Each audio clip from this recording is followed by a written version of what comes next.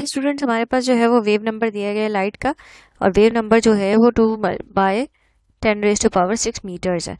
तो सबसे पहले तो वैल्यू ऑफ़ वेव नंबर को जो है वो, उससे वेव लेंथ निकालेंगे, ठीक है? वेव नंबर से वेव लेंथ निकालेंगे और वेव लेंथ को निकालने के बाद जो है वो उसकी कन्वर्जन करेंगे, देखते हैं हम किस तरह करते हैं। तो क्योंकि उन्होंने वेव लेंथ पूछी है ना, ठीक है?